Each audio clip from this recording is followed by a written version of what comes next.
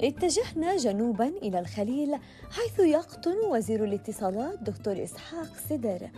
تعرفنا على زوجته لينا أوكرانية الأصل أوروبية المنشأ فلسطينية الهوى. والتي شاطرتنا أفراحنا وأطراحنا الفلسطينية على مدى أكثر من عشرين عاماً. لندخل بيت معالي الوزير ونتعرف على هذا المزيج الجميل من الثقافات.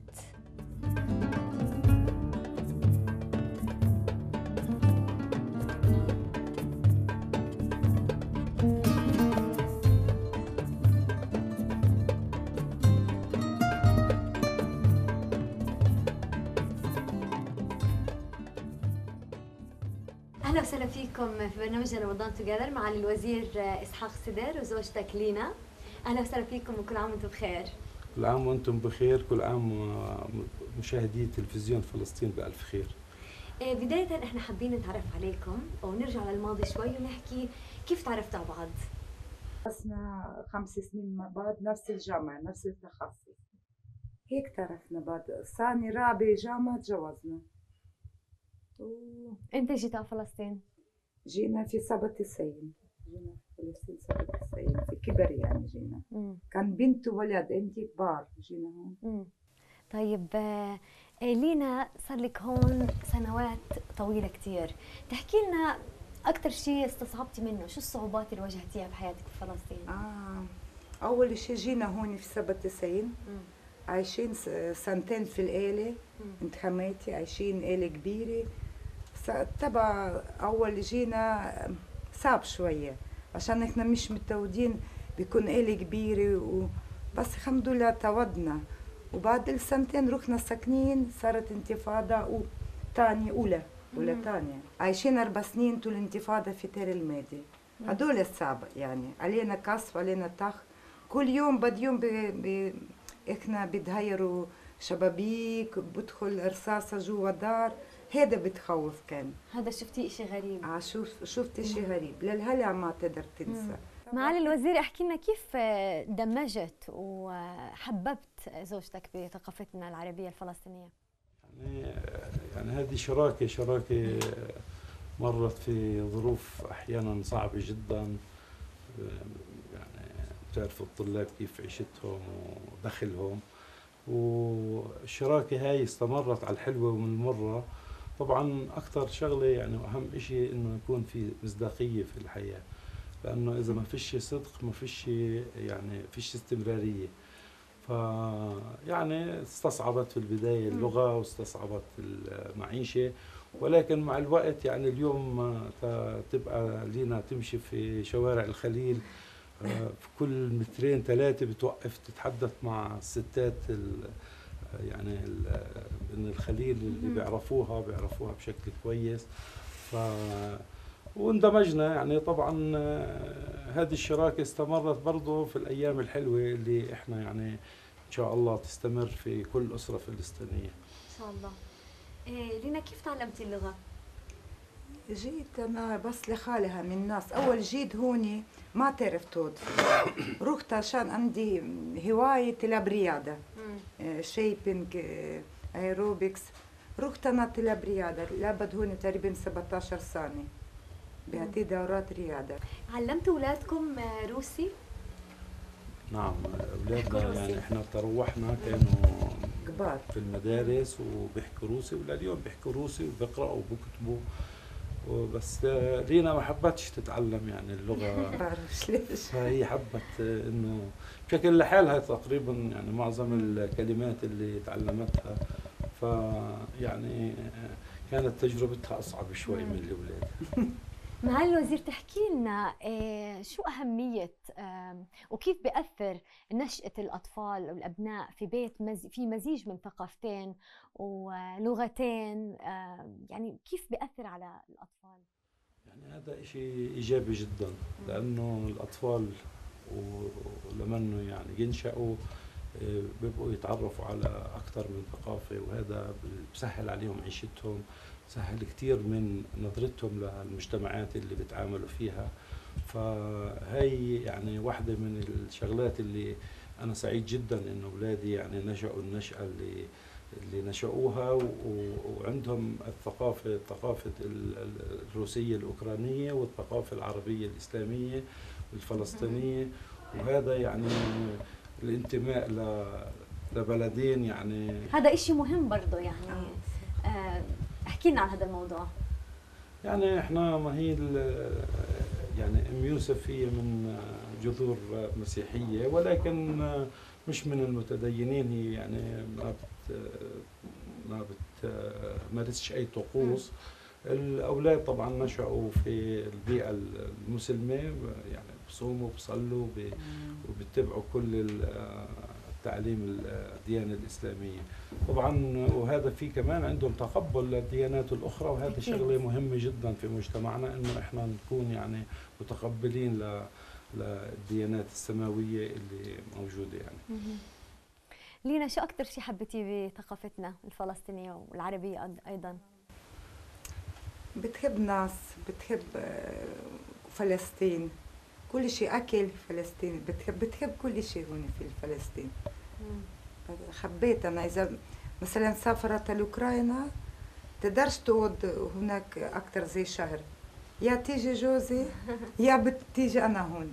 خلص أنا عندي فلسطين هذا بلد كيف بتحب جوزي فلسطين؟ أنا نفس الشيء يعني بتحب أوكرانيا وبتحب فلسطين. آه.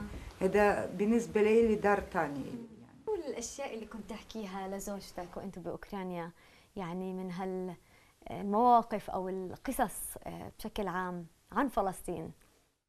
يعني إحنا كنت أحكي لها الواقع اللي كنا نعيشه الواقع المرير اللي تحت الاحتلال النضالات تبعت الشعب الفلسطيني عن المعاناة اللي بيعانيها الفلسطيني.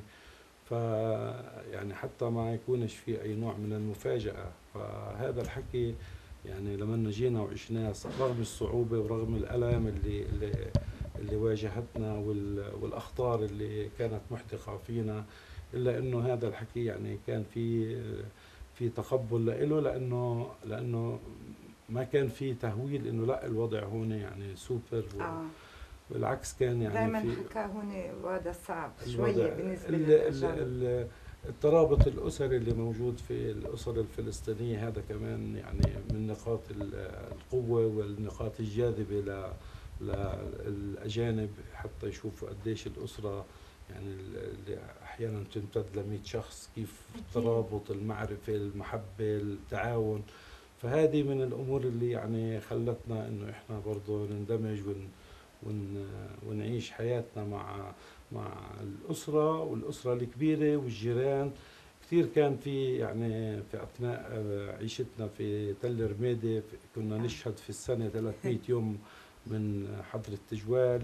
وهذا دفعنا إنه أحيانا الخبز نصنعه في البيت نتقاسم الأكل والشرب مع جيراننا اللي كان دائما يعني تلاقيهم آه، يعني بدعموك.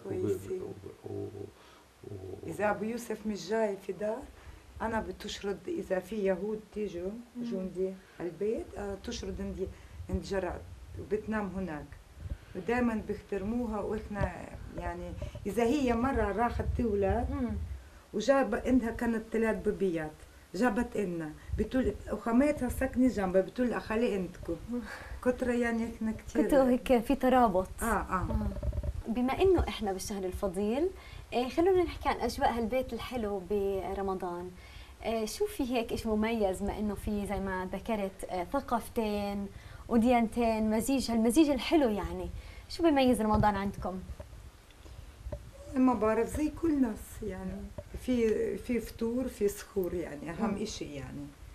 وتطبخ اكلنا روسي مرات تطبخ لك روسي؟ تطبخ روسي ما هو روسي يعني عايشين مع بعض في روسيا كثير بحب اكل روسي اذا تزهق اكل عربي تطبخ روسي هيك عندي بعمل ورا دوالي بعمل محشي بعمل مقلوبة كل اكل أنا بتوضع بتعرف تعمل يعني على فكرة ورا دوالي بعملوا اشطر زي عربيات يعني. بسرعة بدون طلع عليها مرات بيشتغلوا إحنا في المراكز آه. تيجي واحدة عربية عندها شغل كتير بتقول لنا أعملي ورا دوالي. هيك هم آه، ساعة بعمله طنجرة كبيرة عادي يعني فيش مشكلة يعني. مين علمك طبخ العربي؟ حماتي. مم. عايشين عند خماتي كل شيء مع بعض. أنا بتحب من نوع بتحب آه، تعلم كل أكل. بحب تطبخ. بحب آه، يعني سيد ناس يعني.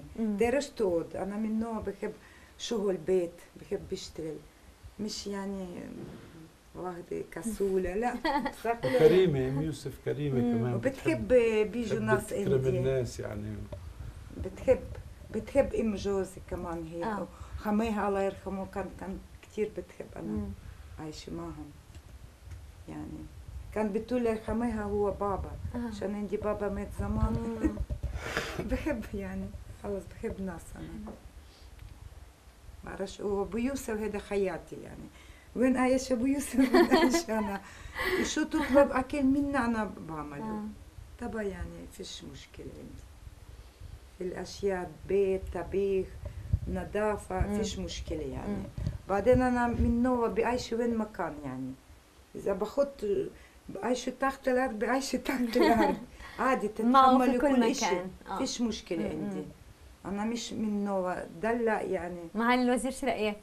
بالنسبة ل- لينا أنا أخوها وأبوها و- وأقيمها كمان. كل اهلها ماما ف- وبابا فلأنه فيش غيرها يعني. أنا جوزي نعم. كل شيء. آه. الله يخليكم لبعض. يا شكراً. وحبيت أشكركم كثير على استضافتنا في بيتكم. وبدي أعيد عليكي بمناسبة عيد الفصح. هابي إيستر ورمضان كريم. وكل عام وأنتم بخير. وأنتم بالصحة والسلامة.